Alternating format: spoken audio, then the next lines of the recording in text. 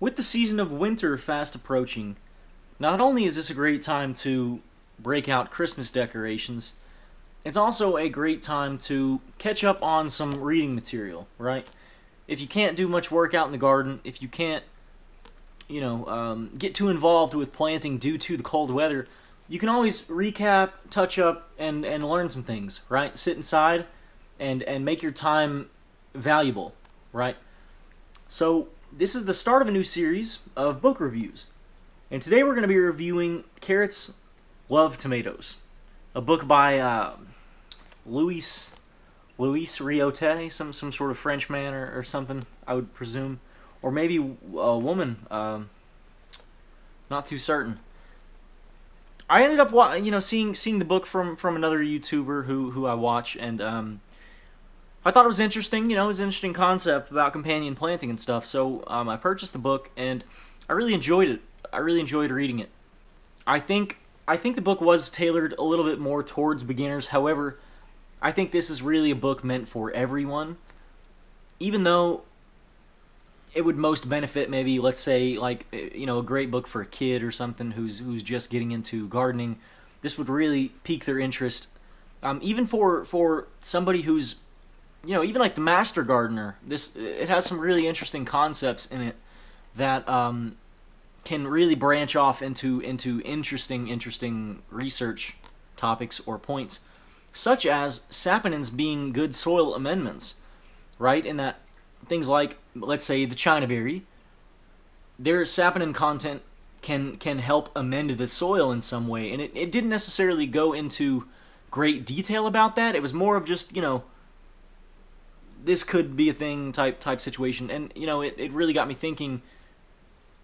I, I never would have even guessed that that could have been something that would have happened. So now i'm you know i'm wanting to revisit all of my Chinaberry experiments and topics and everything you know and and go down a whole rabbit hole there. So a lot of like really weird things like that. Like um it was talking about lightning and rain and and you know the the um, relationship between electricity and and uh, nitrogen in in the uh, Mother Nature circle of life, yada yada yada. Right, kind of like brushed over the you know just a just a light coating on the topic, like it does most of the things in it. Um, but yeah, so lightning can dump like thousands of pounds of nitrogen into into the surrounding area just from that that electrical charge because you know like the, the air is like 85% nitrogen so Supposedly, this helps release or make bioavailable this nitrogen in the air into the soil.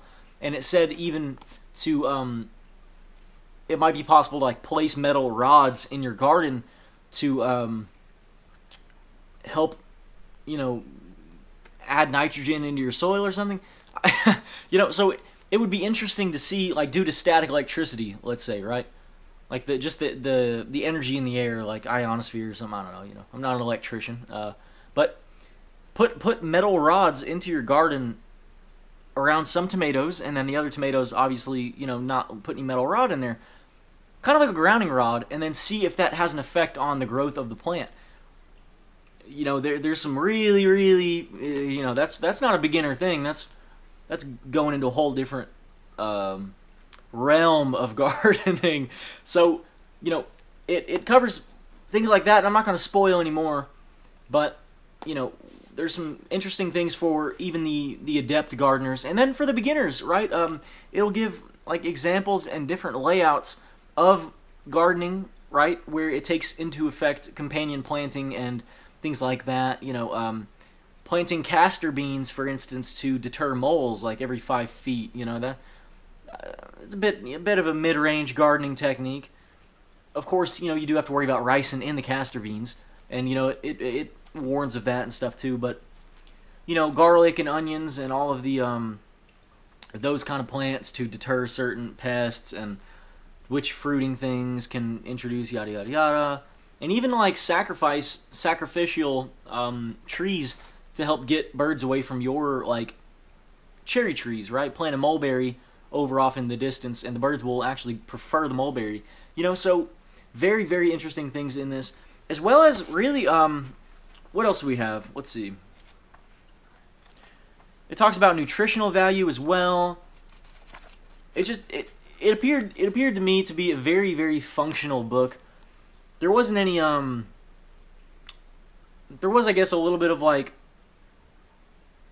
Mm, the book the book didn't necessarily back up, you know, what it was saying with claims and, and you know, research papers and all that, but but it some of the things is just kind of common knowledge, right? Like public domain, like that pollinators can can um, benefit, you know, certain plants or whatever. A conjecture for the book would be like, oh, I can just go online and look up companion plants for garlic, and find out, you know, what what what companion plants can go with garlic. And that's true. That's absolutely true.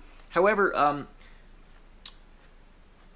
it's almost like with with a search engine or with the internet, you can only look up what you have the idea to look up, right? Like if you're planting tomatoes, you can look up companion plants with tomatoes, but you wouldn't necessarily um, you might not find what's in the book. You might find a whole certain different set of answers to that. Or um, you won't ever find up you you won't ever stumble upon the internet necessarily upon um, like can lightning have an effect on plants you know if, if you weren't like re- looking up that exact topic and you know the youtube suggestions obviously can help you with that but yeah so it, it it just gives you somewhere to start off it gives you a stepping stone and i find that to be very very useful for really anyone i mean you're this has something for everyone in it I think it's a great book, great read, and inexpensive. And um, I'm sure there might be online versions, maybe even for free. I'm not sure, but anyway, good book to check out. Got to have for anyone who's who's into gardening. You know, really nice. So anyway, this this book is um, so this book is great for anyone, whether you're just starting out or you're an adept master gardener who's been doing this for a long time really, really interesting things to check out and try. And um, it really covers it covers an incredible amount of, of information, whether it's about companion planting or you know different techniques in the garden or the functionality of different trees, such as the Osage orange as a um, hedge tree to prevent like wind or you know act like as, a, as like a natural barbed wire. You know, real cool things like that it goes far beyond the traditional um, way of agriculture that a lot of us are probably used to from what we see online. So check out the book, go to read, and um, there's going to be plenty more book reviews to come. Thanks for watching. We'll see you next time.